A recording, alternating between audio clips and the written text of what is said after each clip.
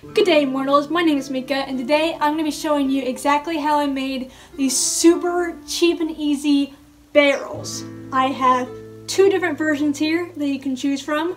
I have the super duper cheap and easy version and then I have the slightly less cheap and slightly less easy version. But in my opinion, the slightly less cheap and easy version looks a whole lot better, but it might be a little bit too much effort for people who just don't have the means or patience to do it. So that's why I have two different versions for you guys to choose from. Both are made out of cardboard boxes, and it is a significantly cheaper alternative to real wooden barrels. If you look up wooden barrels on Amazon or anywhere online, they're usually gonna be over $100 for big ones like these. But I really wanted a big barrel for my medieval YouTube space, and I also figured that a lot of LARPers could use some barrels for their LARPs, so I figured I would make a couple of them. As you can see, this one is unpainted and it has duct tape around to look like those metal bands, and this one is painted and it has rope instead of the duct tape. Now before I really get into the tutorial part of this video, these are two different size barrels. I think this one was 18 by 18 by 20, but this one's definitely 18 by 18 by 24. I actually prefer the size of this one because it's not as fat as this one. This one's a little bit more realistic, but it does take up a lot of room. I super recommend painting it. It makes a humongous difference. It was really easy and I think it's definitely worth the price for the paint. Um, as for the rope, however, it was a lot more expensive and a lot harder to apply it on. I think it looks really good, but it might not be worth it for everybody. It might be worth it just to go with the duct tape band around since this is supposed to be a cheap and easy project and the rope makes it not so cheap and not so easy. Anyway, let's just jump right into the tutorial. Alright guys, to start out you'll need some sort of straight edge. I'm using a meter stick because it's easiest. You could also use a ruler, scissors, an X-Acto knife or some sort of razor and a pencil. But today I'm going to use a Sharpie so that you guys can see what I'm doing better. And of course, your cardboard box. So this box is a 24 by 18 by 18. You don't have to get that size, you can get whatever size you want. Alright, so the first thing you want to do is actually detach the box to itself. There should be a seam going down somewhere where the cardboard box is sticking to each other. So you just want to rip that off. Like this. Just like that. And then I'm just gonna go ahead and cut this little section off.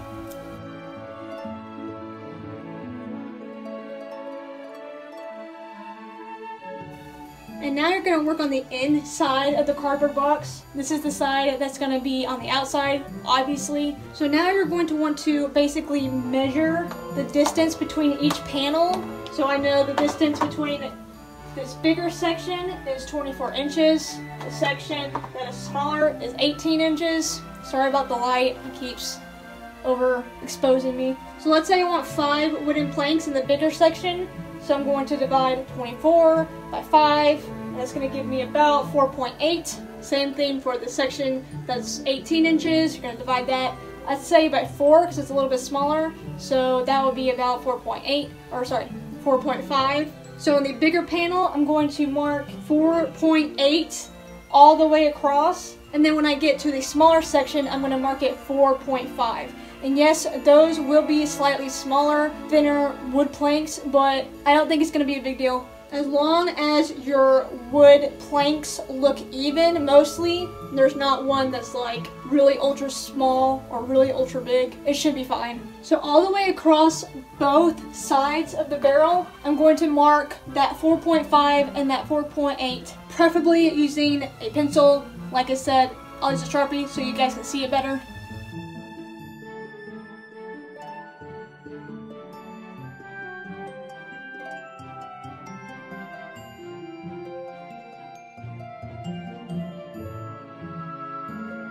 Alright guys, now y'all should have marks on both sides of the panels.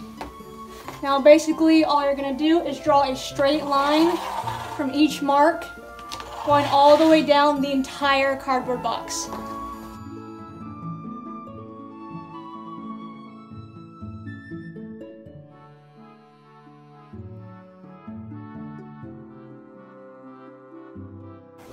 Oh, and see this middle section all of these sections that have a little crack on the sides, you want to draw a line in that too.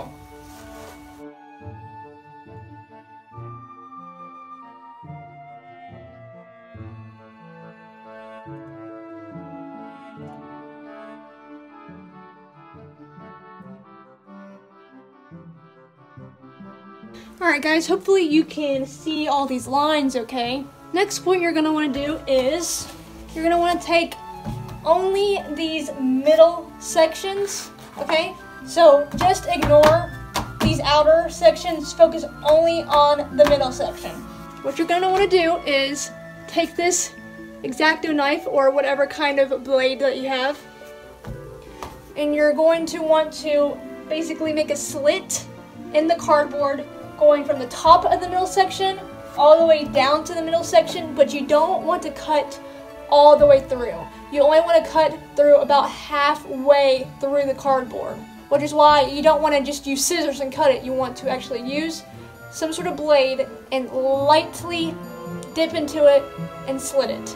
You also want to do it in these middle sections too, but be careful not to go all the way through and make two separate pieces. You do want to make these lines as straight as possible. It's okay if it's not perfect because real wood planks wouldn't have a perfect cut, especially in medieval times I'd imagine, but try not to go too far off the line.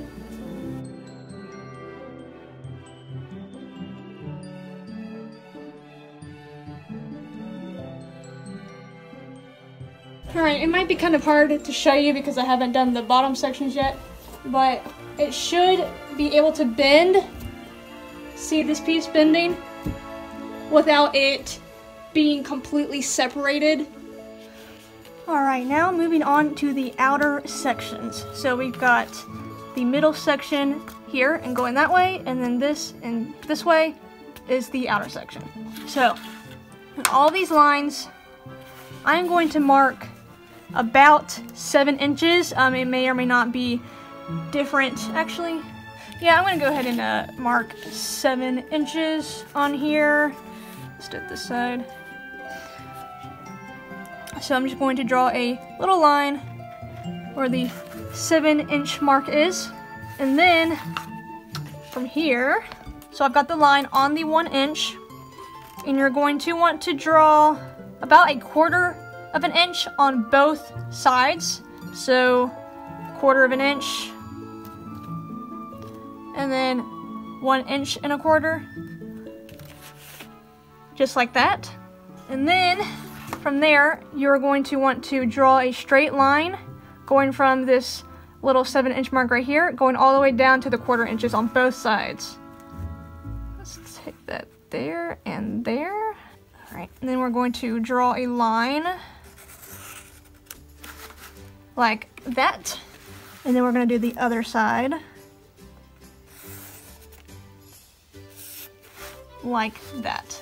So what I've just drawn is basically a triangle and we're going to cut out this triangle because when we basically form the barrel together and these parts are going to be the parts that bend, they're going to kind of close together, if that makes sense. If it doesn't, you'll see what I mean in a minute. But in order to cut it out, I am taking scissors this time, and I find it easiest to cut on the left side first, going all the way, really all the way to the middle section, and then do the right side after. And yes, you do want to cut all the way through till you get to the middle section. Once you get to the middle section, stop.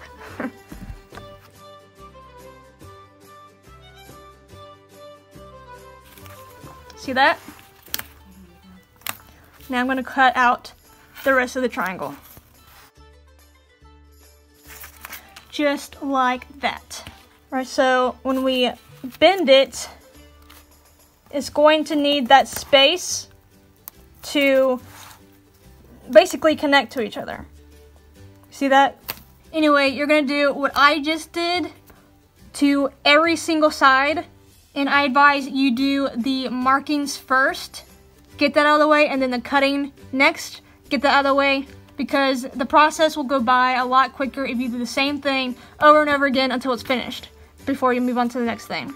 Because this part is probably going to take you a hot minute.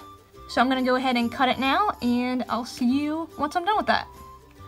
Alright, I have cut out all of the triangles and I really suggest that you wear gloves while doing this because cardboard like super dries out your hands and this was a very long and tedious process so okay so now I'm going to do my best to form it into a circle and then I'm going to tape the inside of the connecting pieces so that it kind of stays together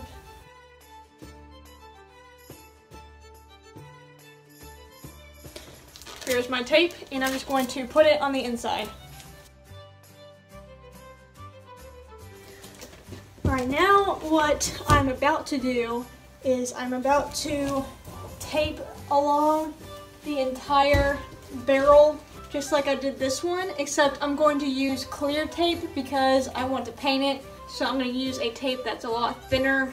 Plus I want to try using rope instead of the kind of metal look, so we'll see how that goes. So this would be a lot easier if you had someone helping you, but I'm just gonna do it by myself. So I'm going to tape along here and here, and I'm gonna do my best to try to keep that circular shape. I'm gonna do this by taping it with my left hand while bracing the inside of the barrel with my right hand. And I'm basically just going to pull the tape this way as I go along while bracing it with my right hand.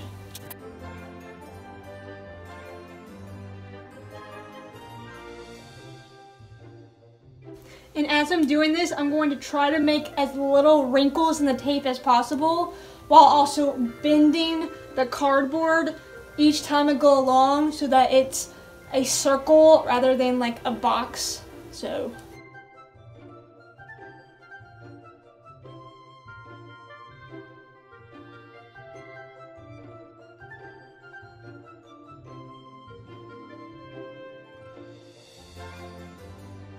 So I got about halfway done recording this section and then I realized I wasn't actually recording, so glad I noticed.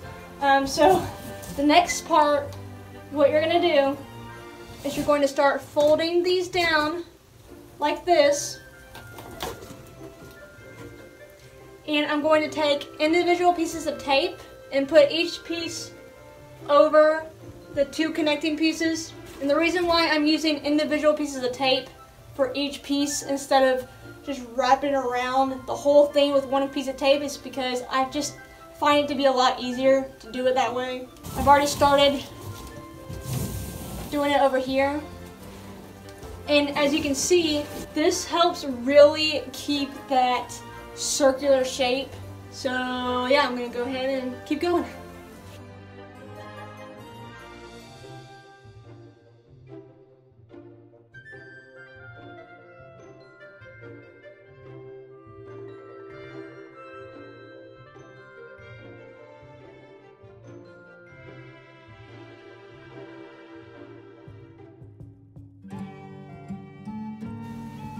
Alright, once you're done with this, you can see it looks like a nice circle now, although it's very fat. It's a very fat, fat barrel. Yeah, I probably should have stuck with the uh, slightly thinner box, but that's okay. It still works. So now that I'm done with that, I'm gonna go ahead and put a piece of tape going all the way around the circle and that'll give it a little bit more stability and if you're using that silver duct tape it'll look like that metal band that goes around the top.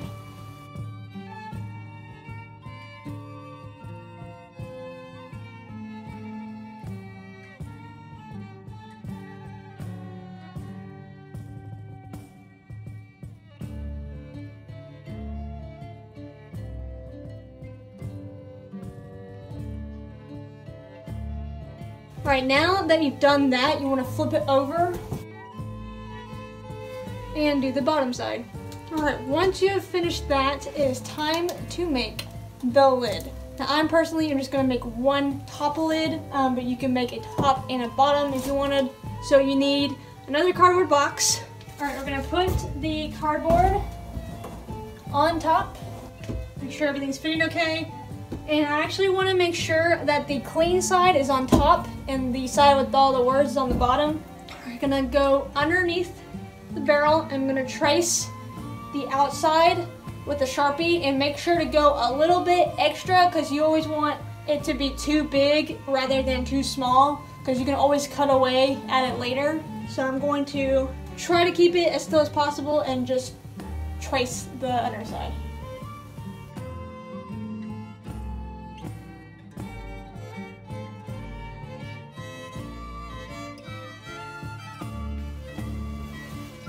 From here, I'm going to draw a couple of little notches, I guess. And this part's totally optional, but it might help it to stick inside of the barrel better. Like that. And then you're gonna wanna cut this whole thing out. All right, once you've done that, you wanna put it on top and just see how it fits and trim up any bit of it that you need to. You see it's a lot longer on the sides, so I'm gonna trim that up real quick.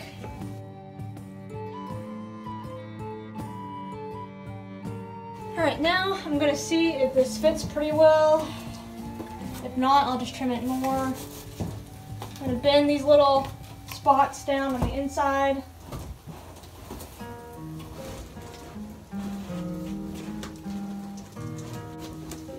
Trim it right here a little bit. All right, I think that's probably good enough, but I'm gonna go ahead and tape some of this down just so it doesn't come off. Obviously, if you want your lid to come off, you don't have to tape it. All right, guys, here are the two barrels.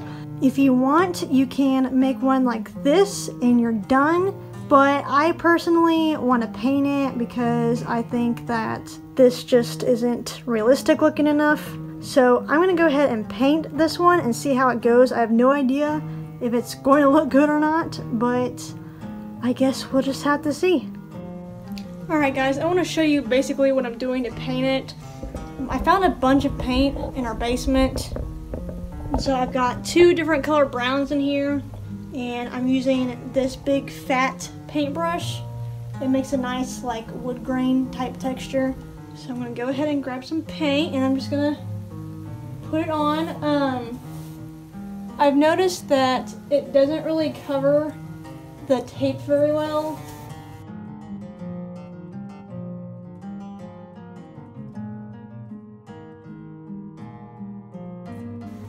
See how there's like a lighter shade where the tape is? So I'm just going to do my best to cover it after I paint it. I'm not gonna worry about it too much right now. So yeah, that's basically what I'm doing. I'm trying to get multiple shades of brown each time that I do strokes. I don't know how well you can see it, but in person, it looks really nice because it's all like multiple shades of brown in there, so.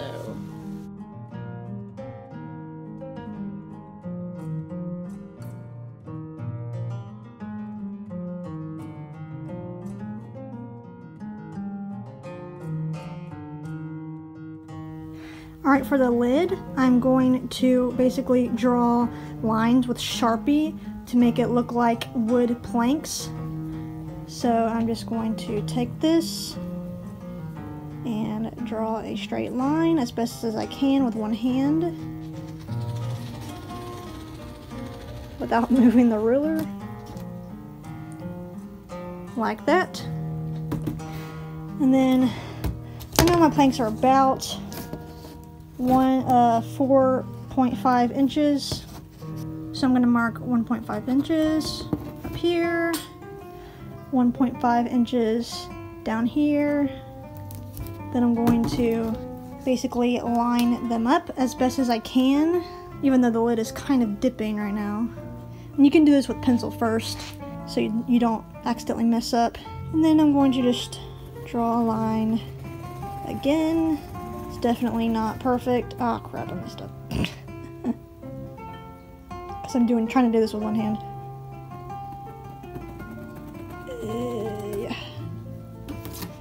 And there you go. It's gonna look something like that. And if you want, you can use a fatter Sharpie or you can actually paint it so that the lines are more obvious. I'm gonna go ahead and finish this off camera so that I can use both of my hands. Alright, so once the paint was fully dried, I got this one inch rope that is 25 feet long, which ended up being the perfect length. And I had my husband hold it in place while I wrapped the rope around. And once I wrapped it around two times, I marked where I wanted to cut the rope with tape. And after we marked it, we cut it with a mini saw. And I had Ryan help me here since I'm not very strong.